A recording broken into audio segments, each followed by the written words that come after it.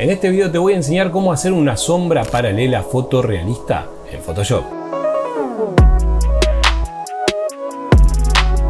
Hola, ¿cómo están todos? Mi nombre es Sergio de pixel40.com.ar. Acá tenemos esta fotografía que vamos a intentar hacer una sombra. Va a quedar muy buena y además aplicamos muchas técnicas aprendidas en otros tutoriales de mi canal. Lo primero que necesito es tener seleccionado todo el vehículo este que tenemos aquí. Lo vamos a hacer con la herramienta pluma. La herramienta pluma la tenemos por acá, es la primera opción. También puedes apretar P en tu teclado. Lo que vamos a hacer es todo un borde, simplemente en las curvaturas, aprieto y tiro. Aprieto y tiro. Voy a obviar el neumático S y siempre voy a apretar y tirar y como esto es casi todo curva, no va a haber demasiado problema porque siempre va a ser apretar y tirar, excepto en este caso. Acá cuando tenemos un vértice, yo lo que hago es poner un punto acá y nuevamente acá que hay una curva, en la pancita aprieto y tiro. Si quieres aprender más acerca de cómo manejar las curvas, te voy a dejar un video donde te explico exactamente cómo realizar las curvas a la perfección. Yo voy a seguir haciendo toda esta selección y voy a poner el video en velocidad rápida porque si no te voy a aburrir viendo cómo hago toda la selección.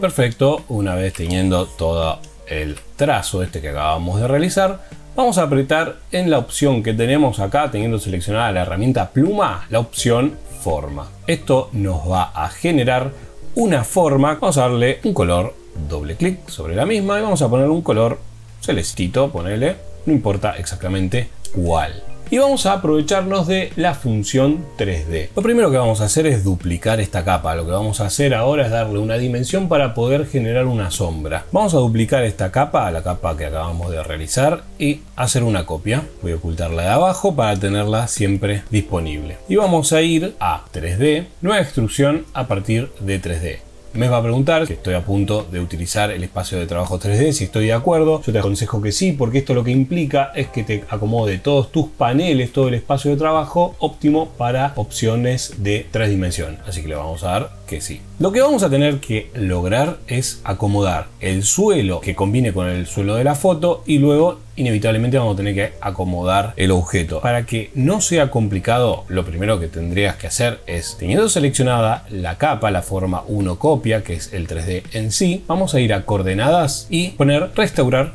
coordenadas. Y vamos a ir a escena y también vamos a poner restaurar coordenadas. Esto va a implicar que se vaya todo lo que teníamos visible, no vamos a ver absolutamente nada, pero vamos a asegurarnos de poner x menos 90, porque el eje x es el eje que va a hacer que nuestro piso esté así a que 90 grados se vea de esta manera. Así que directamente vamos a apretar menos 90 y darle Enter. Ahora sí, con estas opciones podemos alejarnos con el tercer icono, hacer traveling con cámara 3D y alejarnos un montón que de esta manera nos vamos a asegurar de estar trabajando con el tamaño exacto. Perfecto, ahora lo que tenemos que hacer es seleccionar la capa y rotarlo menos 90 el eje X para que esté exactamente en su lugar, digamos que esté rotado como el piso. Y simplemente vamos a acomodar esta imagen a el vehículo. Eso lo podemos hacer a través de el segundo icono, segundo icono que tenemos acá y darle un zoom a la cámara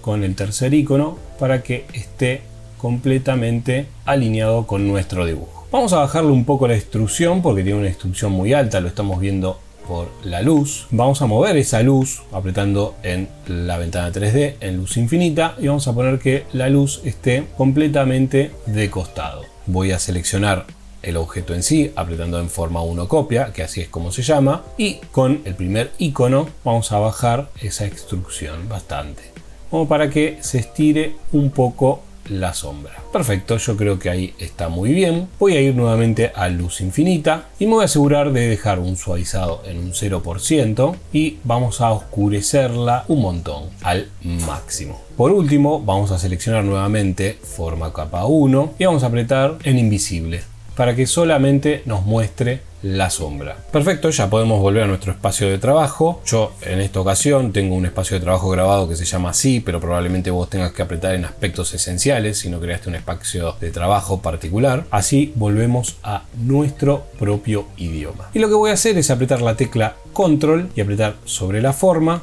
para que me seleccione todo lo que está dentro de ese 3D, que en este caso es solamente la sombra. Voy a crear una capa nueva y la voy a rellenar con color negro seleccionado. Aprieto Alt Delete para que me la llene completamente de negro. Ya esta capa 3D la puedo borrar. Así que la voy a tirar al tachito. Yo lo que puedo hacer es duplicar esa capa un par de veces con Control J para que sea bien negra. Ahí está bien. Vamos a seleccionarla todas y apretar control E para unificarlas. De esta manera la genero que sea mucho más oscura. Porque luego yo voy a poder trabajar con la opacidad. Ahora lo que necesito antes que nada es agrandar el espacio de trabajo porque voy a hacer o colocarle un efecto de desenfoque en movimiento que va a sobrepasar el lienzo y no quiero que se me corte en este límite. Puedo apretar la tecla C para ir a redimensión y agrandar todo. Voy a apretar la tecla Alt para que se agrande. Y de acá sin apretar Alt la estiro bien hacia abajo. Así puedo trabajar tranquilo. Doy a aplicar con la tecla Enter y vamos a aplicarle un filtro, desenfocar, desenfoque en movimiento y vamos a tratar de encontrar un desenfoque que se alinee con esta capa. Vamos a bajar un poco la distancia. Básicamente tiene que estar alineado con el vehículo. Perfecto, vamos a darle OK y le vamos a bajar la opacidad. Vamos a agregarle también un poco de desenfoque normal con el filtro desenfocar, desenfoque gaussiano.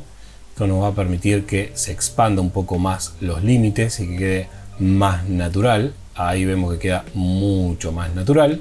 Le voy a dar OK y me voy a asegurar que no afecte el vehículo así que le voy a colocar una máscara y con un pincel de color negro voy a pintar sobre este borde para que no sea afectado. También lo que puedo hacer es como yo ya guardé mi máscara de color verde puedo apretar control sobre esta forma. Mi máscara no forma estamos hablando ya la puedo ocultar y aprieto sobre la máscara, podemos apretar Shift F5 para rellenar y ponemos que rellene de color negro y le damos OK. De esta forma todo lo que está alrededor del auto no se va a ver. Podemos modificarla un poco. Voy a quitarle este eslabón para que nuestra máscara quede siempre en el mismo lugar. Y seleccionando sobre la capa voy a hacer Control T. Voy a apretar el botón derecho, deformar y voy a acomodar un poquito mejor hacia los bordes esta capa y quizás lo pueda estirar un poquito más por acá dándole un poquito más de espacio en la parte de atrás y en la parte de adelante como es un capó achicarla un poco y siempre podemos bajarle un poco la opacidad. Ahora como ya tenemos nuestra forma, nuestra forma 1, la podemos traer hacia adelante y aprovecharla para darle un color interesante a la fotografía. Vamos a darle un color doble clic, un color azul y darle OK. Y vamos a cambiar el método de fusión de normal a color. Si vos querés aprender cómo colorear una fotografía, te sugiero que entres al video que te voy a dejar arriba a la derecha, que lo vemos mucho más en profundidad. Ahí tiene un color bastante artificial, pero podemos cambiarlo en cualquier momento dándole doble clic y poniendo un color un poco más realista, algo así. Ahora lo que vemos es que en esta fotografía los bordes van a estar muy marcados. Así que podríamos ir a las propiedades de esta forma, yendo a ventana, propiedades y ponerle un radio de desvanecimiento a penitas. Si nosotros le damos mucho, lo que va a pasar es que los bordes van a quedar suavizados. Ahí podemos ver cómo se desvanece. Pero vamos a darle un desvanecimiento de quizás un píxel o un poco menos. 0,6 va a estar muy bien. Cierro las propiedades y lo que tenemos que lograr es que estas partes de las ventanas no se vean. Así que simplemente voy a crear una máscara y con un pincel de dureza 0% de color completamente negro, vamos a pintar sobre las partes que no deberían llevar azul. Esto lleva un tiempito, vos podés hacerlo pintándolo o también podés utilizar una herramienta de selección que quizás te sea un poquito más fácil. A mí se me hace un poco más fácil pintarlo porque tengo una tableta digitalizadora y me permite tener más precisión. Si me paso un poquito no es tan grave y al trabajar con máscara siempre podemos corregir. Ahí está, esta es la parte quizás más tediosa, que es la parte en donde tenemos que trabajar un poco. Yo lo voy a hacer lo más rápido posible. Ahí está, fíjate cómo cambia un montonazo y también vamos a pintar sobre estos bordes.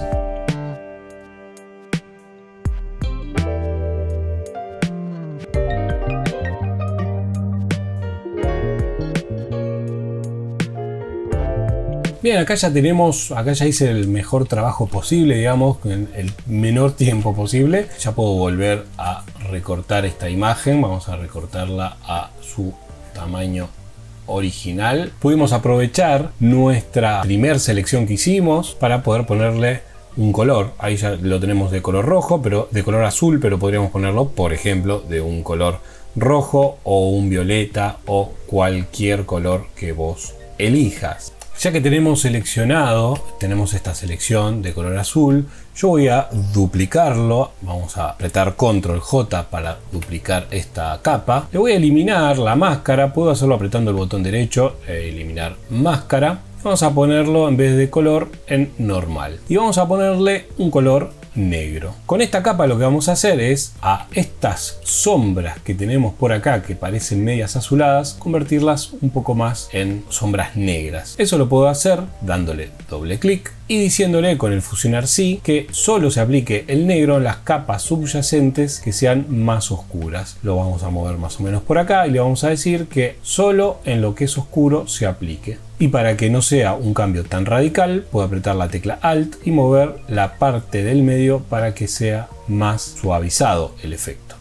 Un poco más. Ahí, ahí está, ahí lo tenemos, vamos a darle OK. Y ahí te puedo mostrar el antes y el después con esta sombra. También podemos bajar un poco la opacidad para que no sea tan marcado. Y por último vamos a agregarle una capa de curva. Como el auto es muy azul, se tiene que ver un poco el reflejo en el piso. Así que le vamos a agregar una curva y vamos a modificar solamente los azules. Y vamos a apretar en el medio y darle una buena cantidad de azul. Pero como queremos que se centre esos azules solo en el medio, podría apretar sobre la máscara, voy a cerrar propiedades, apretamos en este primer icono para que se nos quede el blanco y el negro de forma predeterminada y seleccionamos herramienta de degradado siendo la segunda opción, una opción radial. Entonces como yo voy a pintar de blanco a negro sobre la máscara, esto lo que va a decir es que en el centro se muestre esa curvatura azul y hacia afuera desaparezca. Ahí vemos que el azul está bien centrado en la imagen. Voy a apretar nuevamente y lo voy a extender un poco más. Perfecto, y ahí tendríamos el resultado. Yo te voy a mostrar cómo quedó el antes y el después de colocarle la sombra y darle un poco de color a la fotografía. Muy bien, y en este video aplicamos varias técnicas. Por un lado tenemos la sombra larga, que es una especie de sombra con luz bien abajo, que tenés un video para verlo más específicamente. Por otro lado tenés cómo colorear una imagen, que tenés otro video para verlo, y cómo utilizar la herramienta Luma. Este es un video que utilizamos un montón de técnicas y es bastante avanzado. Si quieres ver más videos tutoriales como este, te sugiero que te suscribas y dale a la campanita así te avisa exactamente cuando subo un video nuevo. Y nosotros nos vemos en el próximo video.